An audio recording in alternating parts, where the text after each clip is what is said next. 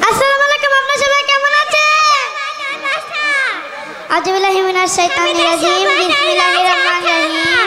প্রথম আমার আল্লাহ পাকের নাম স্মরণ করে তার সাথে তার প্যারা হাবিব হযরত আহমদ মোস্তফা মোহাম্মদ মুস্তাফা সাল্লাহ সালাম করে আমি যে আমার এসেছি মাতাল কবি ডাক্তার দান তার দরবার আমার ভক্তিপূর্ণ সালাম। আমি একটি গান করব যেটা আমার কোনো ভুল হয় তাই খাবার